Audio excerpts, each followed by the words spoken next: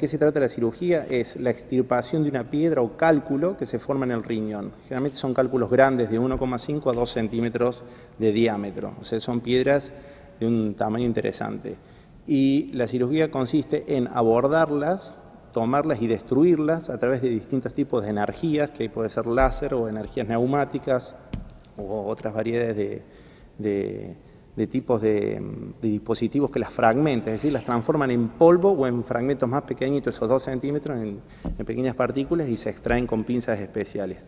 Todo ese tipo de cirugía se realiza a través de una incisión de un centímetro, un centímetro y medio. Esa es toda la cicatriz que va a tener eh, el paciente. Por eso la, la comodidad que tienen estos pacientes en el postoperatorio, en la rápida recuperación y menos necesidad menor necesidad de eh, analgésicos o calmantes para aliviar el dolor del postoperatorio.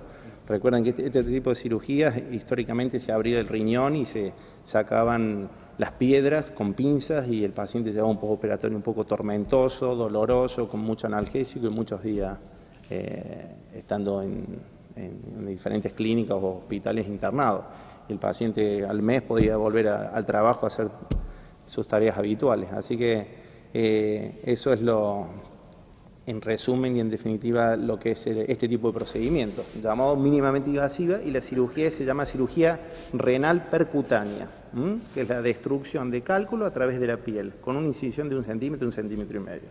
Y bueno, y ofrece todas estas ventajas. ¿Es necesario una patología? Una patología que dispone el hospital y eh, complementamos también con algunos eh, del equipo, donde fue, porque hay que armar una logística importante, no es muy simple, hay que tener mucha paratología, gran parte de la paratología la, la brindó el hospital y otros pequeños detalles que había que tener en cuenta eh, los aportamos los distintos eh, cirujanos que participaron en, en el, procedimiento. ¿Muchos profesionales participaron, doctor? Eh, cuatro. cuatro. vinieron, quiero aclarar, perdón, eh, que vinieron del Instituto FUCDIM de Córdoba, que es un instituto que se especializa en litiasis, en cálculos, y tienen bastante experiencia en este tipo de procedimientos y vinieron acá a, ayudarnos en el, caso.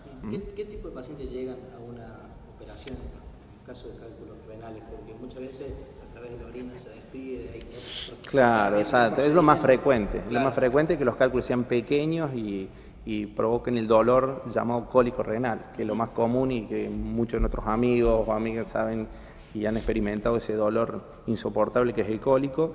Y bueno, cuando las piedras son pequeñas y de determinado tamaño, sean menores de 10 milímetros o 5 milímetros, hay más de un 60% de probabilidades que les elimine el, el cuerpo en forma espontánea, es decir, con líquidos y una medicación especial pero están del otro lado las piedras grandes, las piedras de más de 10 milímetros, 15 milímetros, 20 milímetros o más grandes inclusive, que son las que quedan atascadas en el riñón y el riñón empieza a sufrir las consecuencias de esa impactación. Es un ejemplo de una cañería eh, de un diámetro tal y se, la piedra adquiere un determinado volumen, queda atrapada, se produce una hinchazón, un edema y bueno, empiezan las complicaciones a posterior.